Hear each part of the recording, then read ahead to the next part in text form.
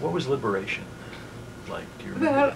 Well, uh, approximately that's what it was when the, you know, we got there and they told us to be inside, and then uh, we In saw barracks. the in the barracks and uh, commotion outside the Germans and the English uh, soldiers, and then um, then they started to give us food, and but they gave us cans of fat food, and our stomachs were not, we were not used to having.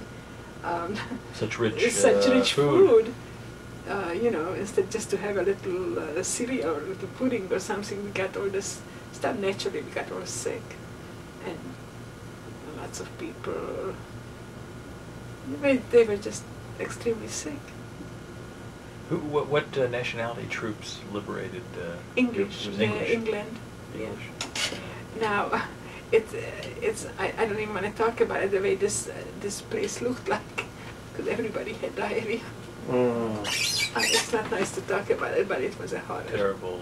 Uh, Horror. well, were- once liberation occurred, were you still at Bergen-Belsen, or did they take you and the others No, away to a different we were camp? there, and then uh, from there we went into. We still stayed in Bergen-Belsen, but like in different conditions, like houses. I believe they were like homes, and that's where we stayed. And um, and from there, um, I guess once we gained our strength a little bit, we wanted to get home, so we started towards heading home. When you say we, you mean your, your sister Uh, my who you met up sister. with there, and My- Frida as Well, well? Frida at that point um, went to Sweden Mm. because she was there too, but she was also sick, and then she went to Sweden. She Wh- had why? an opportunity Why, why did she go to Sweden? because she had an opportunity, and uh, they took her to, you know, To she signed up. To and recuperate in Sweden? Yeah. Yeah. So she went to Sweden, and I stayed with my sister, and um, then we headed home with my sister, and there were other people. Uh, there were friends, and you know, people from our hometown. It, it always were lots of people, but really only my sister and myself. Your first thought was to go home, though? We wanted to get home very much.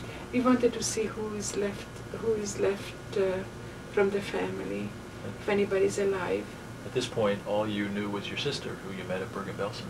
That was all. uh, That's all. And then we were hoping that maybe somebody somewhere is going to still be alive.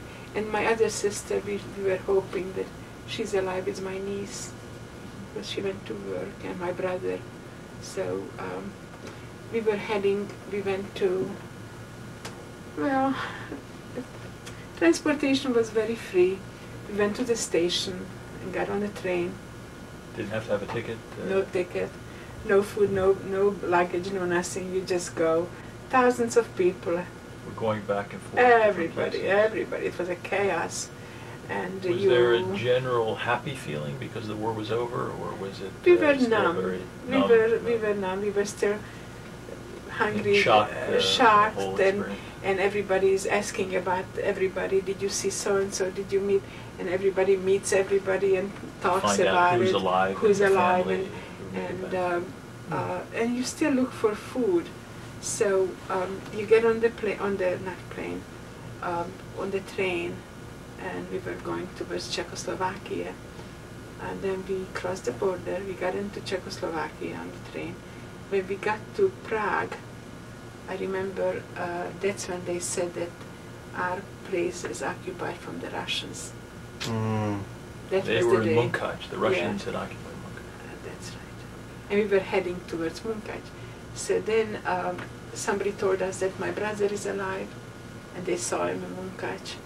So that wa- he was looking for somebody, and we were looking for somebody. And um, so we were going, um, well, we went through Czechoslovakia, and every time the train would stop, we would go off and go look for food. So what do you do? You Hmm. beg for food. And if you can steal a little food, then you steal a little food. Whatever you need to do to survive. It's not a, it's nothing, it was not a big deal. Yeah. Everybody if you was see, doing it. If you see uh, a piece of bread, You, you take it. and you yeah. take it, you just, You have to survive. and, and the, on the